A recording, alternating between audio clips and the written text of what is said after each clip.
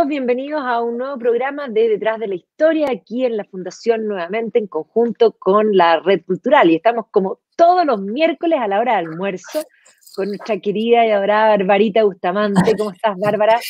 Bien, ¿y tú, querida y adorada Maida? Muy bien, pues sí, obvio, pues si nosotros somos como ya simbióticas, ya eh, hermanas de decisión, qué, buen término eso.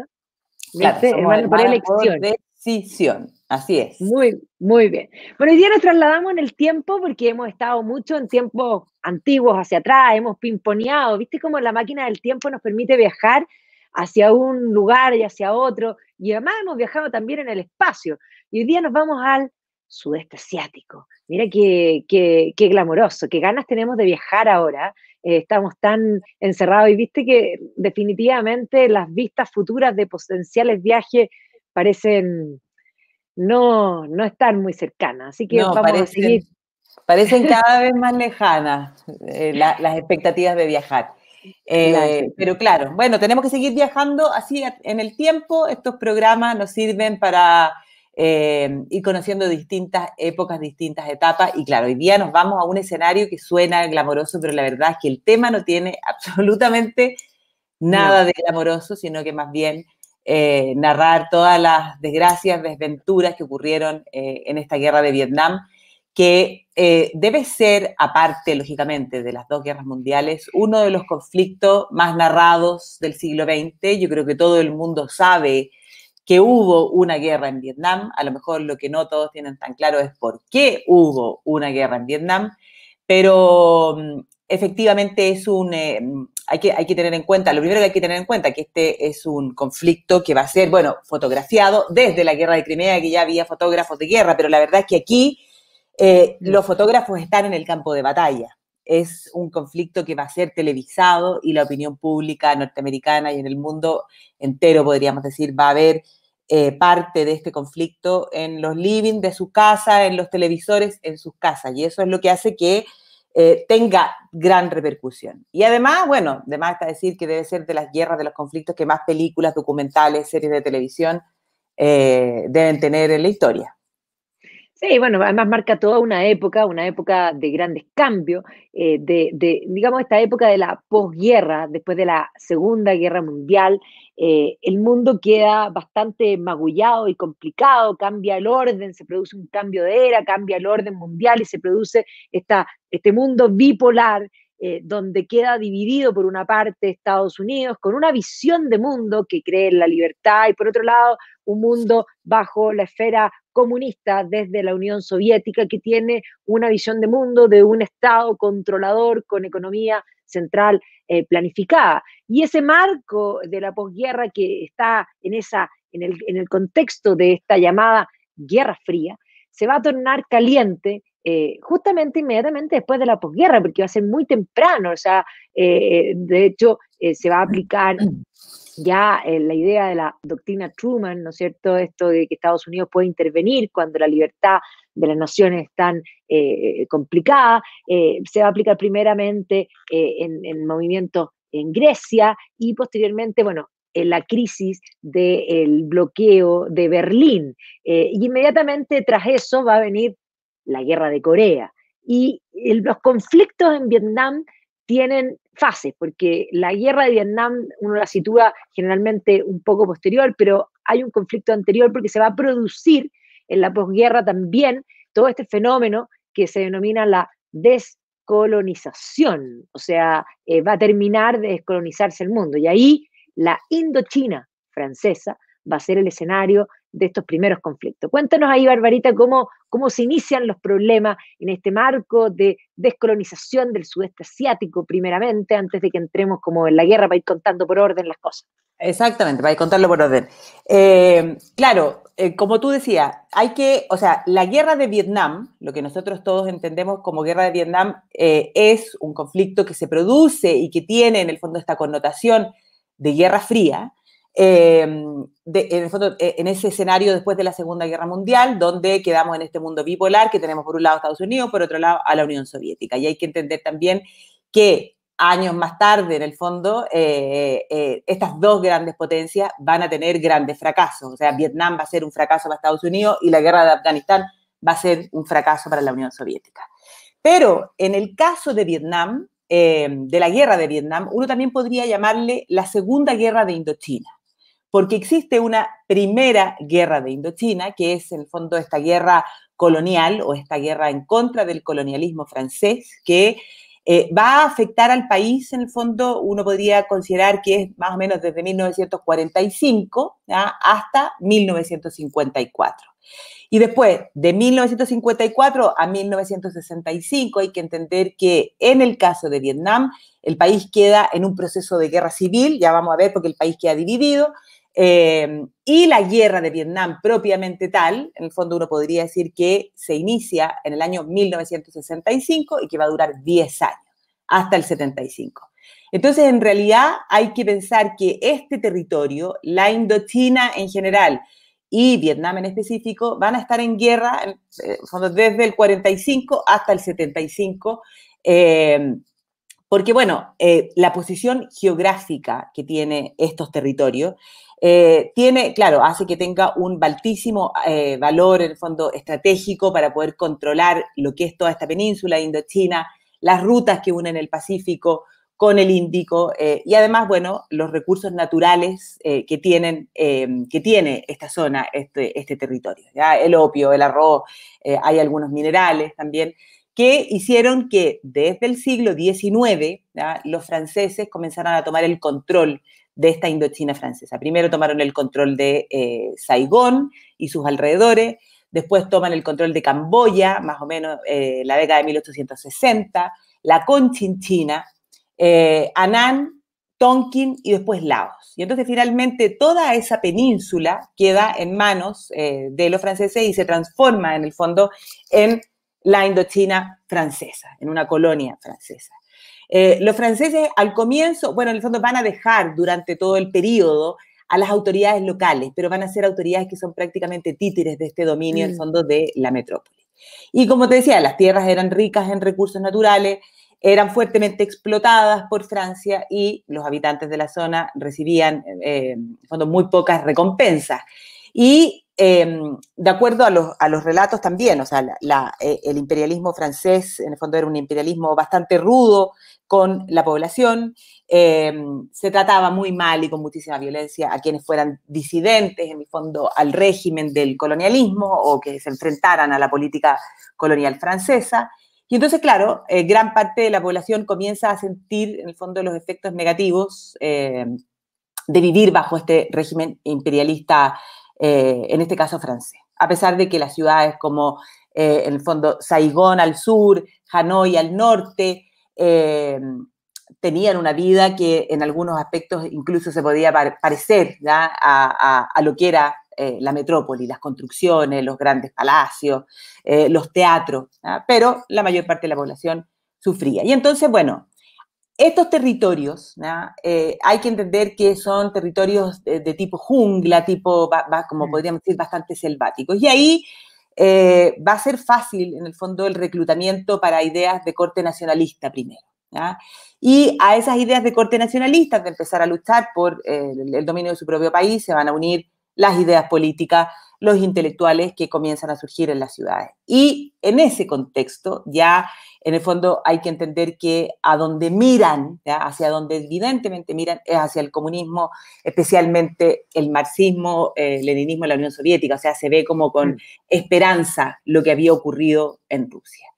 Y ahí, dentro, en el fondo, como de esa intelectualidad, es que aparece la figura de Ho Chi Minh. Ho Chi Minh. Ho Chi Minh. Ho Chi Minh que significa el que ilumina. Pero el nombre, Claro, la luz. El nombre verdadero lo tengo por aquí porque es imposible acordarme. Neguyen Sin Kung. ¿ah? Eh, nace a finales de 1890. Eh, y eh, bueno, la, clandestinidad en el fondo es lo que lo va a obligar a usar distintos nombres. ¿ya? Y Ho Chi Minh es el nombre por el cual es más conocido, o también el tío Ho. Y este Ho Chi Minh, en medio del colonialismo francés, va a dejar eh, Indochina y se va a, dedicar a viajar y a conocer, eh, de hecho, va a trabajar en una naviera, va a estar en, África, va a estar en Nueva York, eh, va a estar en China en el momento en el que se producen se produce el inicio de las patrullas de la muerte, en el fondo eh, lanzadas por Chiang Kai-shek para, en el fondo, eh, depurar, para finalizar con el Partido Comunista, que en ese minuto ya había comenzado a cobrar fuerza con la figura de Mao.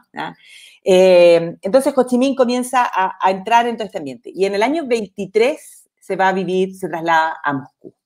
Y ahí comienza a participar en los congresos de la Internacional Comunista, eh, y comienza de, ser nacionalista, comienza a virar en el fondo hacia lo que es el comunismo, o más bien a... a este movimiento internacional, a esta, esta, visión internacional, como Marx termina el manifiesto comunista el año 1848, obreros del mundo unidos, da lo mismo de donde sea.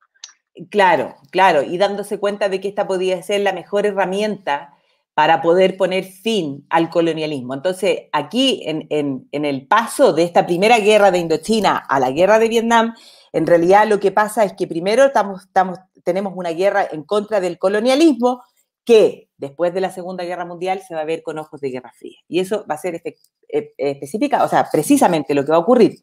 Ho Chi Minh va a fundar, de hecho, el Partido Comunista de Indochina, pero en la clandestinidad lo funda en Hong Kong en 1930.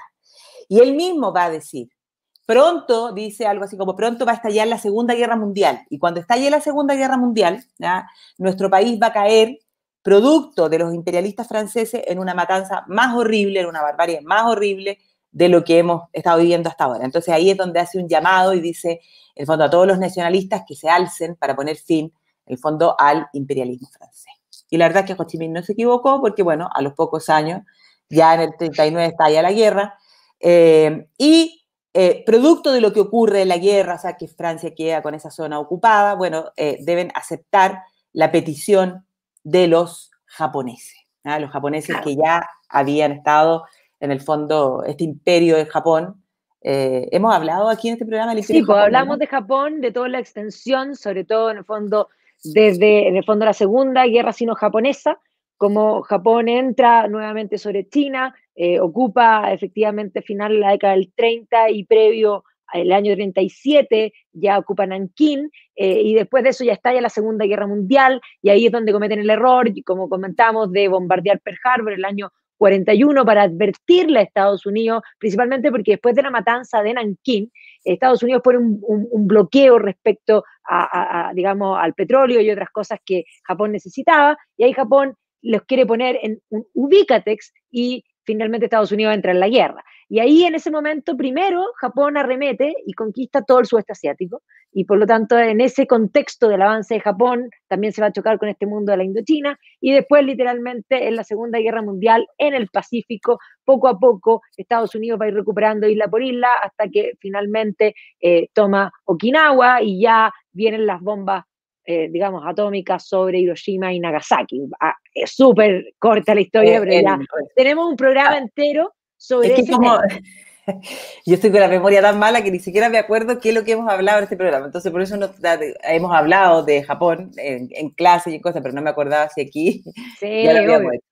Em, pero claro, ya en el, para el 41 ya tenemos a los japoneses ocupando hasta, eh, hasta Saigón, o sea, tiene eh, hasta, hasta el sur de la península. Y entonces, eh, Ho Chi Minh, en ese contexto de la ocupación japonesa, dice, dice algo así como nuestro pueblo ahora sufre una doble carga, o sea, no solo son los franceses, sino que ahora también hay que pelear con Japón. Y ahí es cuando se funda el Viet Minh. Que es la Liga por la Independencia Vietnamita.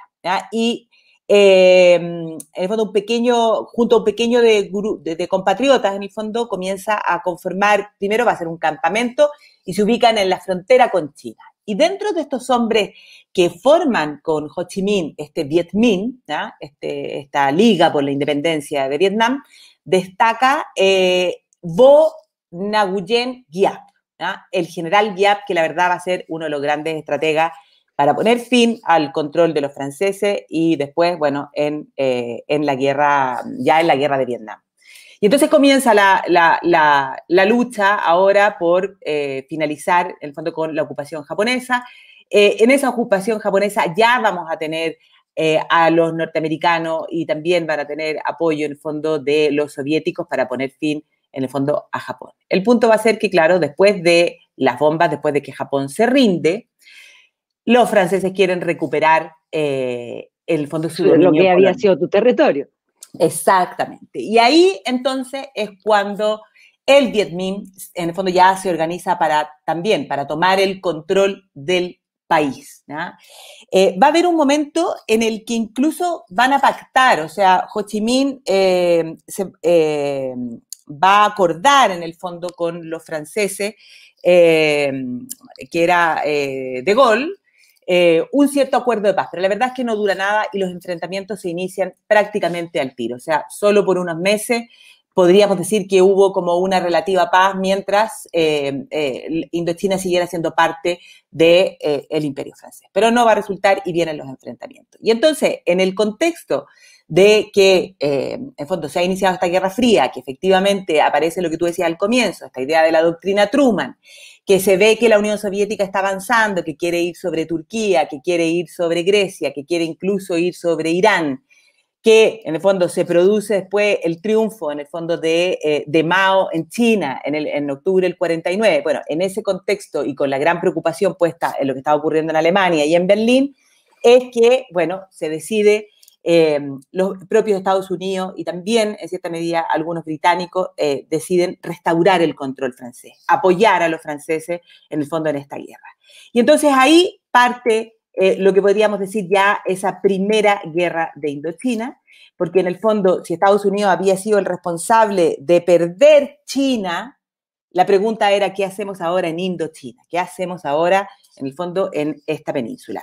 Se produce la guerra de Corea, entonces se ve que efectivamente el comunismo está avanzando y que se está tiñendo de rojo el mapa. Y entonces comienza, eh, en el fondo, eh, esta guerra que efectivamente va a tener el apoyo, por una parte, de los chinos, que apoyan al Viet Minh de Ho Chi Minh, y Estados Unidos poco a poco comienza a apoyar a los franceses. Entonces, de 23 billones de dólares que comienza a aportar al comienzo, bueno, eh, al poco tiempo van a ser 300 millones de dólares para apoyar, el fondo, a, eh, a los franceses que mantuvieran el control.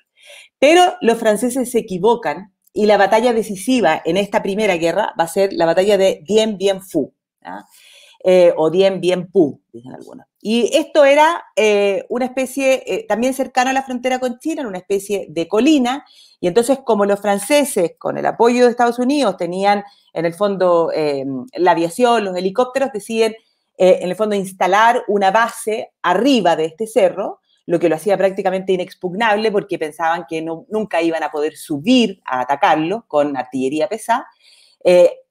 Van a construir hasta unas líneas de, o sea, unas pistas de aterrizaje, y entonces el objetivo era desde ahí lanzar los aviones a bombardear el territorio eh, del norte, y en el fondo ellos iban a quedar defendidos pero se equivocan en Dien Bien Phu porque no entienden cuál es la pelea que está peleando Esta, este, este Viet Minh.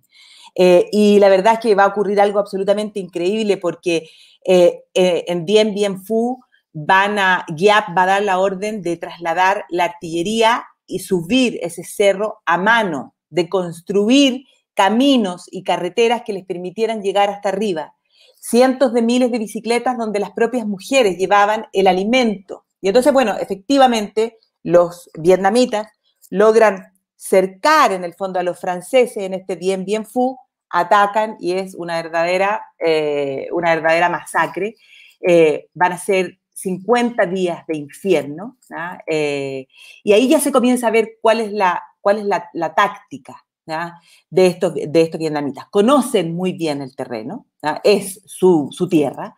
Eh, construyen especies de trincheras, de túneles donde se esconden, atacan de noche y efectivamente los franceses son derrotados en mayo del 54 en esta, en esta batalla de Dien Bien Phu.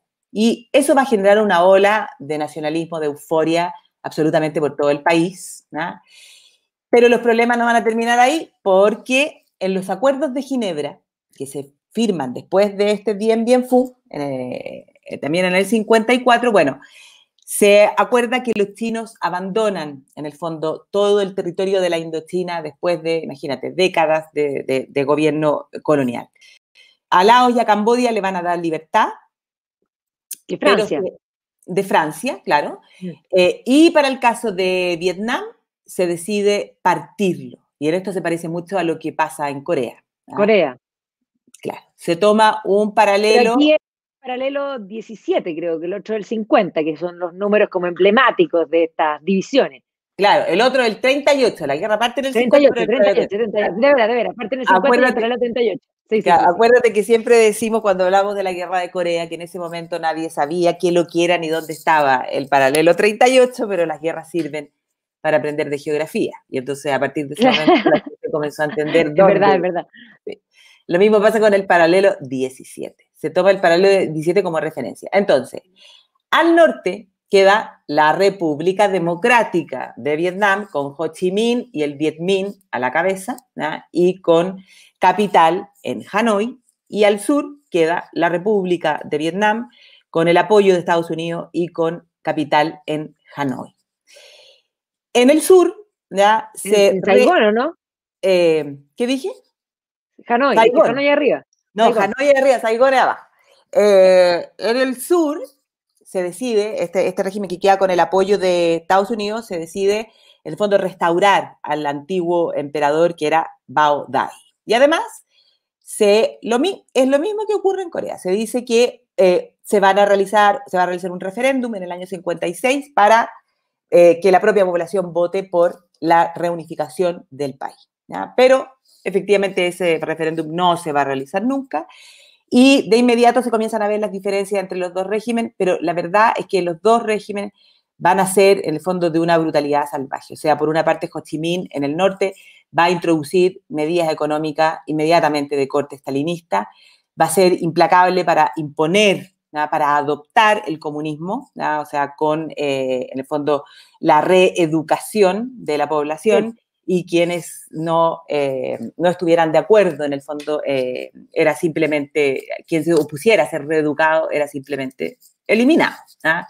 eso muestra lo, lo democrático que era la parte democrática. O sea, si no te gusta, ni siquiera váyate, si no te gusta, muérete, definitivamente.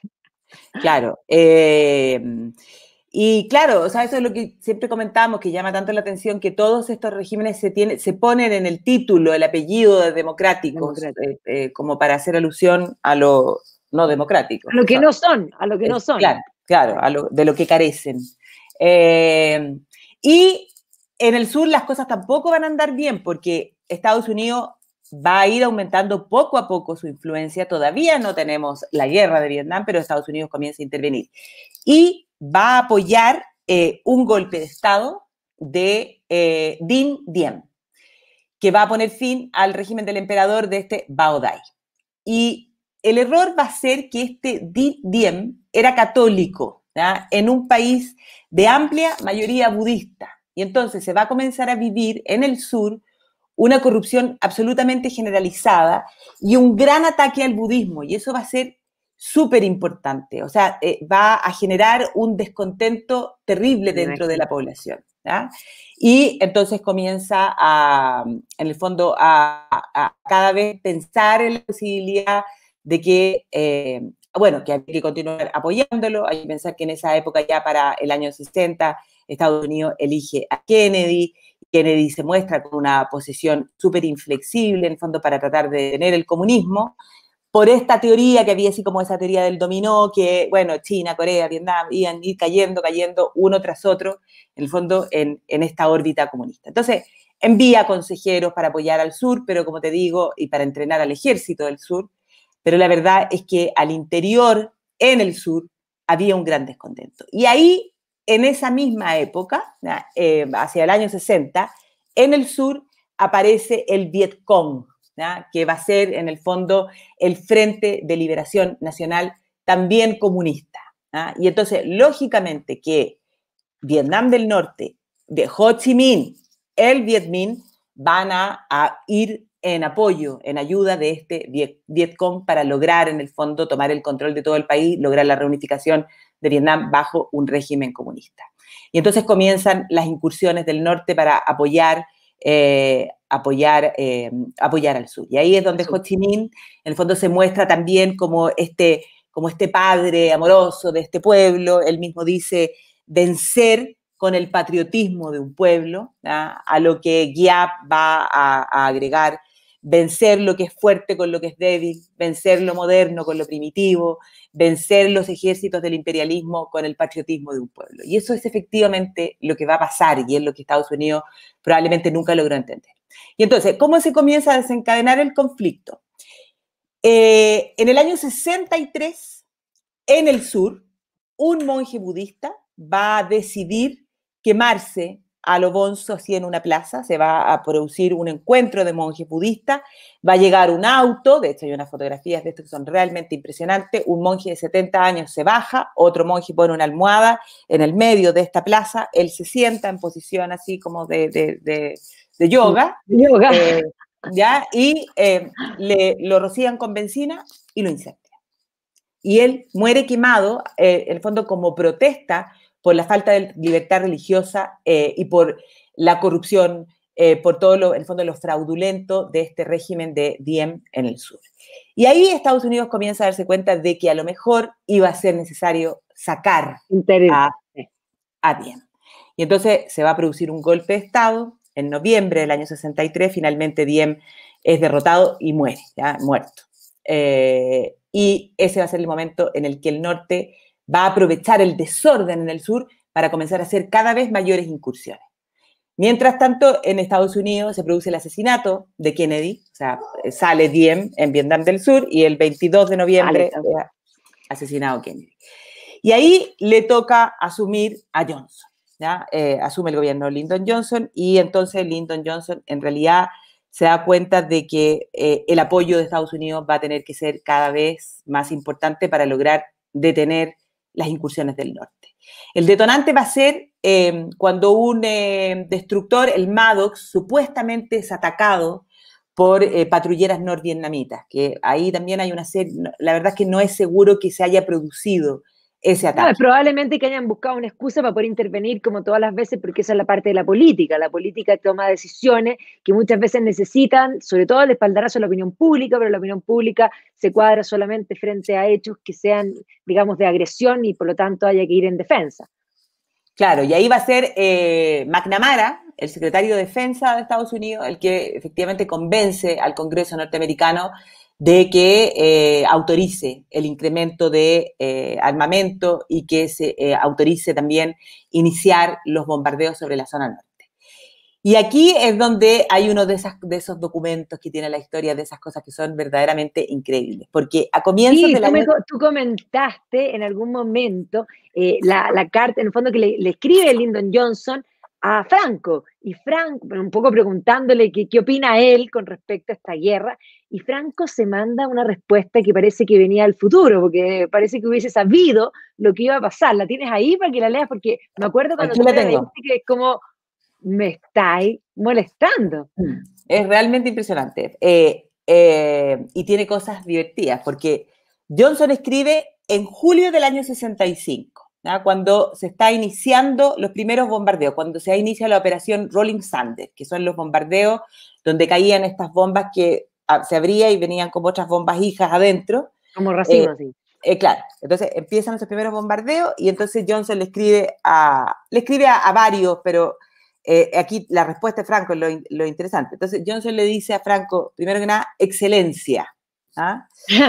y eh, en el fondo es una carta larga, pero no la vamos a poder leer entera, pero le dice, eh, o sea, le, le, hace como un resumen de lo que está pasando en Vietnam y de que es necesario que el mundo vea cómo todo el mundo apoya a Estados Unidos en esto. Entonces dice, sé que su gobierno ha mostrado ya su interés y preocupación concediendo asistencia. De hecho, Franco había mandado lo que se conoce como ayuda humanitaria y varios médicos españoles habían participado en la guerra.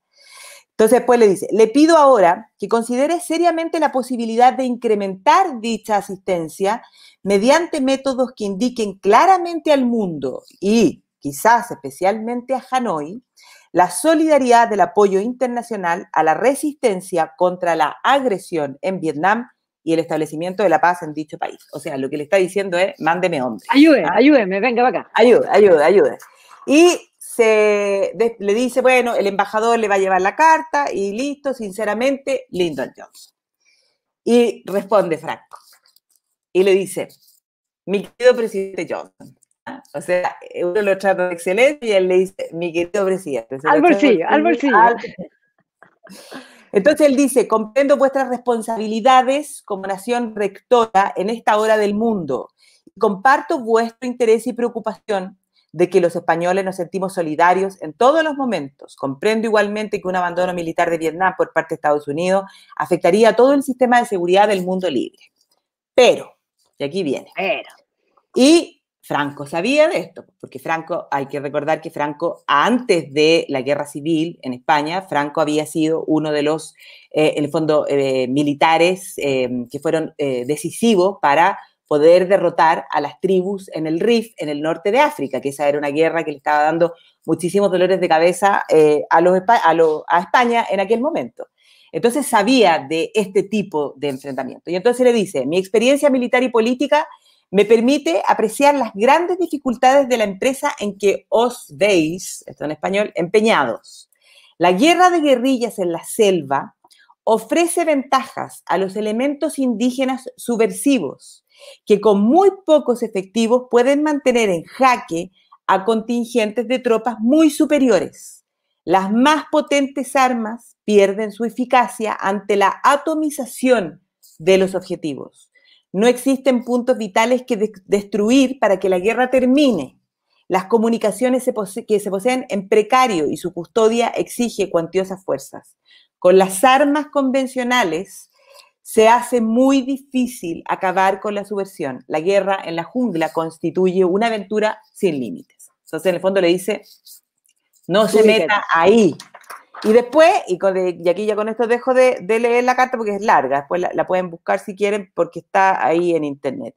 Eh, dice, em, eh, a ver, eh, en el fondo, el interés de Estados Unidos de que el comunismo chino no invada los territorios del sudeste asiático. Los estados del sudeste asiático a mantener, hay que a mantener a China más alejada de sus fronteras.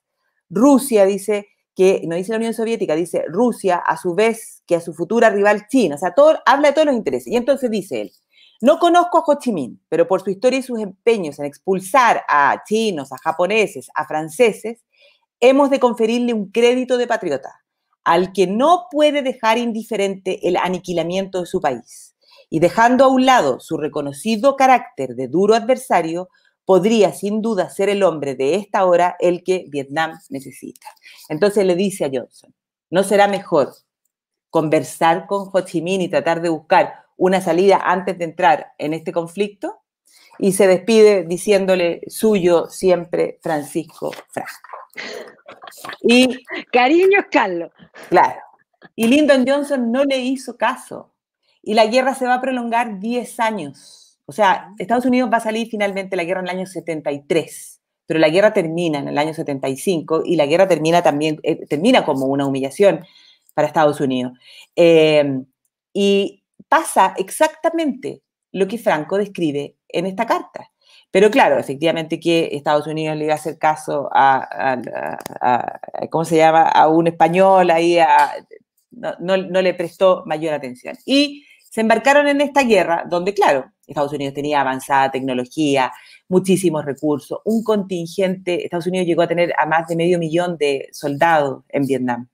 Em, los helicópteros que van a ser como la especie de caballería aérea, la cantidad de bombas, lo anoté también por aquí, eh, cuatro, eh, Estados Unidos lanzó 4,6 millones de bombas sobre el territorio de Vietnam. Eh, o sea, Estados Unidos tenía todo para ganar eh, la guerra, pero eh, esto va a ser, eh, en alguna parte escuché esto, es como que David le ganó a, a Goliat. Porque los vietnamitas, ¿qué tenían? Tenían este sistema de guerrillas, conocían su territorio, esto, eh, eh, eh, estos ríos. En la parte sur está el río Mekong, donde se produce la, mayor producción de arroz, pero ese río Mekong está, es un delta, o sea, lleno de riachuelos y lógicamente los vietnamitas conocían aquellos territorios. Y además, a lo largo de esos años, lograron construir toda una sofisticada línea de túneles ya, debajo del territorio donde hacían la vida, donde funcionaban las escuelas, de hecho, hoy día eso es parte del, yo no he estado nunca en Vietnam, pero es parte del turismo. Se visita, sí, se visita. Se visita. Claro, y em, atacaban, además, como te decía, de noche. Y en las noches además reconstruían lo destruido. O sea, Estados Unidos bombardeaba, botaba un puente, por ejemplo, para tratar de dejar zonas incomunicadas y durante la noche los vietnamitas iban y, en el fondo, los norvietnamitas o los del Vietcong reconstruían, eh, en el fondo, esos, eh, esa destrucción. Eh, y entonces, la verdad es que fue, para muchos fue, en el fondo, Estados Unidos nunca terminó por entender el tipo de guerra que estaba peleando. y eso es probablemente una de las razones del fracaso. Y entonces usó la fuerza aérea para bombardeos masivos eh, y se comienza a vivir un, horror y hechos de violencia que, como es una guerra que es fotografiada, yo creo que probablemente todos tienen en su mente la imagen de esa niñita eh, que huye desnuda después de que se ha logrado sacar la ropa, em, después de que se ha atacado y se ha bombardeado con napalm, ¿ya? que era un agente que se utilizaba para, eh, en el fondo que tiene mucha mayor capacidad de combustión, para generar eh, un daño eh, más profundo y más duradero eh, y más rápido, o sea, que genere un efecto más rápido. Después, la cantidad de gas naranja que se utilizó para dejar grandes sectores del territorio, en el fondo, sin posibilidad de que, o sea, había que, la idea de Estados Unidos era trasladar población, lanzar este gas naranja, cosa de dejar esos territorios que no le permitieran a los del Viet Minh o los del Vietcong esconderse, en el fondo, en esta especie de jungla, que no tuvieran poblados que además los alimentaban ¿ah? y por lo tanto eh, que no, lograran tener eh, abastecimiento. Pero eso significó un daño enorme eh, en la población civil, daño en la infraestructura de Vietnam que fue realmente terrible. Entonces, la verdad que es como que hubieran peleado dos guerras distintas. Y las, eh, como los grandes hitos de esta guerra probablemente son, bueno, en el año 65, cuando se inicia esa operación Rolling Thunder, que va a durar, se va a, permanecer casi durante todos los años de la guerra, eh, donde se intentaba, eh, y gran parte de lo que se bombardeaba era lo que se conocía como la, la, ruta de Ho Chi Minh, que era la ruta entre medio del que era el camino que seguía desde el norte para llegar a abastecer al Vietcong en el sur, y, a, tratar de tomar el control del sur, entonces se bombardeaba esa guerra. Eso fue lo que hizo que incluso Estados Unidos eh, interviniera también en, eh, en, Laos y en Camboya, porque eh, en el fondo esta, esta, esta, estas cordilleras, en el fondo, es parte de la frontera. y, y pero, pero de todas maneras, hacia el año 68, Estados Unidos estaba convencido de que era posible ganar la guerra. Pero en el año 68 se van a producir probablemente de estos hechos que son los que tenemos en mente y que también van a ser claves para dar un vuelco a la guerra. uno, el que es considerado como un punto de inflexión, va a ser lo que se conoce como la ofensiva del TET, que va a ser, en el fondo, una ofensiva de los comunistas sobre el sur, Em, que va a tener varios enfrentamientos. En primer lugar, eh, eh, una batalla que se llama la Colina de la Hamburguesa, otra que se llama mm, el sitio de Que San, em, que en el fondo eh, va a ser, en el fondo, esta, esta ofensiva de lo que, lo que busca el norte es lograr infiltrarse en el sur, ir tomando el control de las distintas ciudades en el sur, y para eso hacen maniobras de distracción, como por ejemplo esta de Quesan, que era, eh, esta, era una base en el fondo establecida por Estados Unidos y que en el fondo para distraer van a ir a atacar ahí a, la base mientras se infiltran en distintos territorios del sur de Vietnam.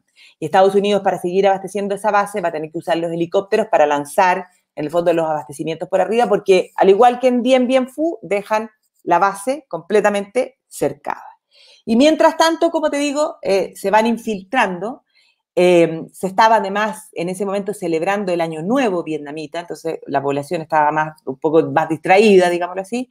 Y eh, ya para el primero de febrero del año 68 han llegado incluso hasta Saigón, los del Viet Minh. Y logran entrar y tomar el control De, 36 eh, eh, sectores importantes. Pero viene la contraofensiva de Estados Unidos que fue arrolladora.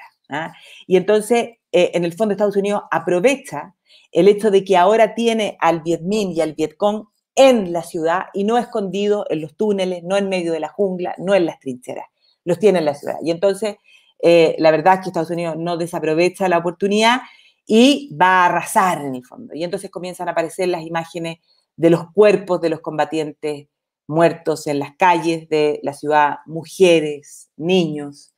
Eh, y eso, em, otra de las imágenes em, que probablemente también la tiene todo el mundo en la retina, es cuando un coronel del ejército del sur, o sea, para que vean que la, brutalidad era por ambos bandos, del sur, asesina, así, la foto muestra, asesina eh, directamente porque era miembro del Vietcong, así, a sangre fría, le dispara y se acabó. Entonces, todas esas cosas comienzan a verse. En esta ofensiva del TET hubo alrededor de 4.000 soldados muertos, y eso eh, se ve en televisión. Eh, y eso hizo que se comenzara a, en el fondo, a modificar la imagen que la opinión pública tenía de la guerra. Eh, el verlo en los hogares, la verdad es que comienza la gente a preguntarse, bueno, ¿y qué tenemos que ver nosotros con Vietnam? ¿Qué es lo que está haciendo Estados Unidos?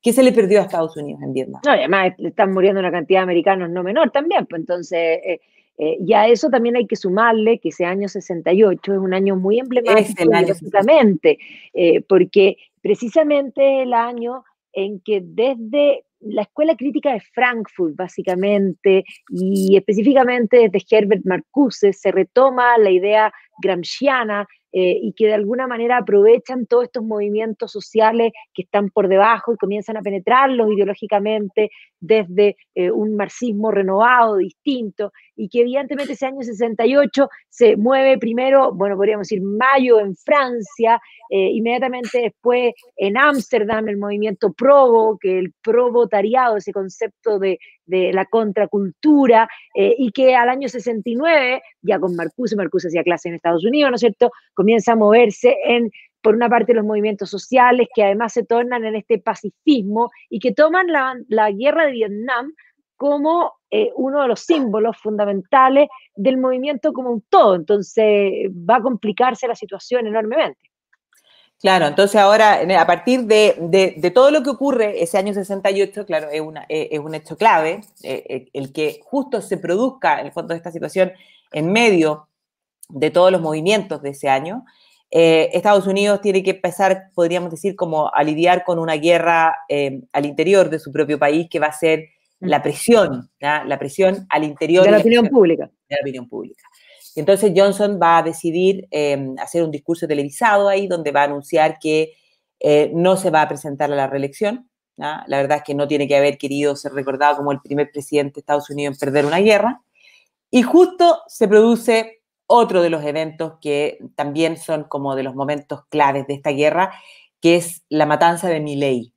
Eh, y que la matanza, eh, eh, en el fondo, Estados Unidos comienza a organizar una operación para buscar a estos Vietcong, que se encontraban así infiltrados en distintos lugares, y se destina a varias unidades de, el fondo, del ejército norteamericano a ir en esta búsqueda. Y entonces se va a designar al, Coli, que era un teniente segundo, o sea, de baja, de baja eh, categoría dentro del ejército. Rango, rango. De rango, exactamente, de bajo rango. Eh, y se le encarga eh, que él em, guíe, en el fondo, esta búsqueda por Milley. Y esto va a demostrar, en el fondo, el error en la selección de los, de los oficiales, porque era un oficial joven que no tenía la preparación, eh, también se comienza a mostrar los efectos em, de, y que eso va a ser otro de los problemas que va a tener Estados Unidos después, como con este efecto del síndrome de Vietnam.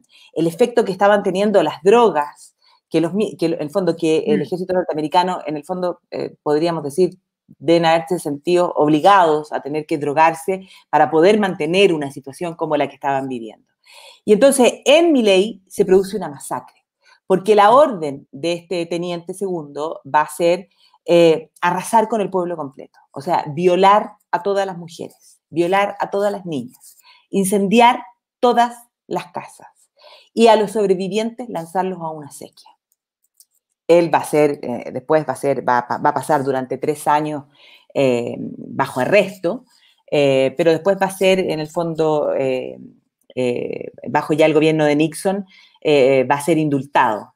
Y Coley, hasta hace un tiempo atrás, señaló, no hay un solo día de mi vida que no recuerde y que no sienta remordimientos por lo que ocurrió ese día en mi ley, o sea, probablemente en qué estado psicológico tienen que haber estado. Pero la crítica la crítica mayor fue eh, por el error de selección eh, y de, para decidir quiénes se hacían cargo de estas operaciones. Y entonces eso dejaba en claro que en el fondo estaban, eh, que no tenían el material humano necesario para guiar esta guerra, sino que simplemente lo hacían con lo que tenían disponible en ese minuto. Y eso generó, esta, como te digo, esta verdadera masacre. Y entonces los, movimientos en contra de la guerra eh, van a ir aumentando, los llamados a la paz. Eh, y Estados Unidos se va a encontrar también con otro problema que tiene que ver con algo cultural, de esos aspectos que nunca logró entender. Estados Unidos trataba de trasladar poblaciones, eh, aparte de usar el agente naranja, el napalm, trasladar poblaciones hacia las ciudades, cosa de evitar que en esas poblaciones, así en el territorio, en medio de esta jungla, eh, los soldados encontraran eh, abastecimiento. Y entonces sacaban a la gente, a gente mayor, eh, y los trasladaban. Y ellos decían, nosotros no podemos irnos, nuestros antepasados están enterrados aquí, aquí, no nos vamos a marchar. Los sacaban, los trasladaban y el día siguiente la gente estaba de vuelta en su lugar de origen, donde estaban sus antepasados. entonces, ese tipo de cosas en el fondo hacían que fuera em, imposible. imposible. Y desde el norte, cada vez más se unían a la causa y se unían en el fondo al, ejército, viajaban por la ruta de Ho Chi Minh y iban en ayuda en el fondo del de el Vietcong de los comunistas en el norte. En Estados Unidos se produce el cambio de, de presidente, asume Nixon, eh, y Nixon va a elaborar una nueva estrategia para tratar de encontrar una salida un poco más decorosa de este conflicto. Y entonces comienzan las negociaciones de paz, que van a ser cuatro años de negociaciones. Cuatro años donde los bombardeos van a continuar y Nixon, para tratar de ser fuerte en estas negociaciones de París, en determinados momentos lanzaba mayores ataques. Por ejemplo, hubo una operación en diciembre eh, de, del año 72, si mal no recuerdo, eh, que se llamó la Operación de Navidad, o sea, bombardear la, noche de Navidad eh, para presentarse en el fondo más fuerte en, en, esas conversaciones de paz. Pero se compromete Estados Unidos a una retirada progresiva de tropas, a mantener el apoyo financiero al gobierno de Vietnam del Sur. Hay que entender, hay que recordar además que entre medio de estas negociaciones, en septiembre del año 69, Ho Chi Minh muere. ¿ah? Y Ho Chi Minh entonces no logra ver el final de la guerra, pero sí logra ver en el fondo este primer eh, ofrecimiento, podríamos decir, del presidente Nixon, de, o este primer compromiso del Nixon, de que iba a retirar, eh, de que iba a retirar sus tropas. Y entonces fueron, como te digo, cuatro años de negociaciones hasta que finalmente en enero del año 73 eh, se firma el Acuerdo de París. Y ahí, bueno, alto al fuego, retiro de tropas de Estados Unidos y que en el fondo iba a haber intercambio de prisioneros y que se iban a realizar eh, elecciones en el sur. Estados Unidos efectivamente retiró tropas, pero el problema fue que la guerra continuó. y entonces la guerra va a finalizar ya definitivamente en abril del año 75, cuando las tropas de Vietnam del Norte logran entrar en Saigón, al Palacio Presidencial de Saigón, y logran tomar el control de Saigón y todo el sur ya cae en manos del norte. Pero muchos historiadores después, en el fondo, en los análisis de la guerra, eh, se han preguntado, bueno, eh, además, a ver, Estados Unidos tenía que entrar en esta guerra, era absolutamente necesario que entrara. Después, Estados Unidos, a partir del año 73, efectivamente retira tropas y deja al país eh, dentro de esta misma guerra. Retira tropas, pero mantiene cierto personal, cierta ayuda económica al sur, pero en el fondo la lectura que se hace es que a partir del año 73 Estados Unidos deja a Vietnam del Sur a su suerte. A su suerte. Claro, y finalmente se produce el triunfo del norte en abril del 75, eh, y por eso es que ese triunfo de abril del 75, a pesar de que Estados Unidos ya no mantenía tropas en Vietnam, es visto como una derrota para los norteamericanos. O sea, tuvieron que firmar esta paz después de cuatro años de negociación, eh, y después en el 75, en el fondo, eh, van a ser fundamentalmente dos días de combate en abril del 75, donde la gente corría despavorida hacia la embajada de Estados Unidos, eh, tratando los que habían apoyado al sur, en el fondo los que estaban a favor de Estados Unidos eh, y que no querían la implantación de un régimen comunista, eh, corrían despavoridos a la embajada de Estados Unidos para tratar de salir en alguno de los helicópteros que partieron por sacar al embajador de Estados Unidos y la gente se subía desesperada por estas escaleras casi cuando los helicópteros ya iban en vuelo. De hecho, se dice que, mm, hay algunos que señalan que algunos helicópteros iban con tanto peso eh, que en algún minuto había que abrir puertas y tirar algunos para abajo porque si no se iba a caer el helicóptero entero. ¿ah? Eh, y no todos lograron salir. Finalmente no todos lograron salir y efectivamente se produce eh, e, e, ese ingreso, ese, ese, tanque entrando es lo que marca el final de la guerra. Y se produce, bueno, eh, la reunificación del país bajo un régimen comunista, en el fondo, a la ciudad de, eh, de, Saigón se la va a pasar a llamar a partir de ese momento como la, ciudad como la ciudad de Ho Chi Minh. Y ahí se crea la República Socialista de Vietnam, que sigue teniendo la capital en la parte norte, en la ciudad de Hanoi. Y entonces, las consecuencias de esta guerra, 60.000, creo que ya lo dijimos, pero son 60.000 norteamericanos, 60.000 soldados norteamericanos mueren en la guerra de Vietnam. Hay alrededor de 3 millones de víctimas. Y si uno lo suma a la cantidad de víctimas, si, empezamos a contar desde el 45, se sube a 6. la guerra de Indochina. Exactamente, sube a 6 más la cantidad de, bueno, desaparecidos, de mutilados, eh, los efectos que ha tenido el gas naranja, o sea, la gente que ha nacido con deformaciones, con problemas eh, realmente terribles. Eh, y se calcula que Vietnam del Norte, perdió, con los bombardeos, perdió alrededor del 70% de su infraestructura. Y todavía hay en Vietnam daño, hay efectos en el fondo del daño medioambiental eh, que se produjo en el fondo por, todos estos, por todos estos bombardeos.